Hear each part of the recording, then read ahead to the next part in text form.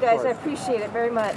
Attorney General Maura Healey greeting voters in East Boston. She's ended rampant speculation and has jumped into the race for governor. I didn't grow up wanting to be a politician. I never imagined it, to be honest. The two term attorney general, well known for her lawsuits against the Trump administration and holding businesses accountable for the opioid crisis and climate change. She wants to focus on the recovery from COVID. Job one will be making sure this economy is back on track. That gets to issues of workforce development and job training. It gets to issues of child care. Two other Democrats in the race reacting. Senator Sonia Chang Diaz says, I welcome the attorney general to the race. In this time of crisis, we need a robust robust conversation about how our government serves working families and meets our biggest challenges. Harvard professor Danielle Allen says this election is about the urgent challenges we're facing, from the pandemic to the climate crisis to racial injustice to the strains on our democracy. We need a fresh perspective that can see beyond the politics. Republican candidate Jeff Diehl critical of the Attorney General. It guarantees the Democratic primary is going to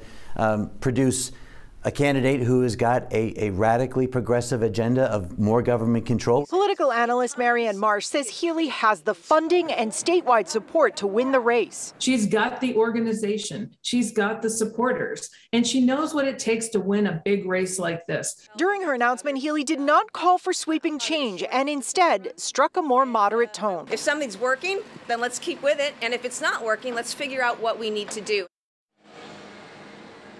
Now, Massachusetts has never elected a woman as governor. So far in this race, all three candidates on the Democratic side are women. We're live here in Boston. Sharman Sacchetti, WCVB News Center 5.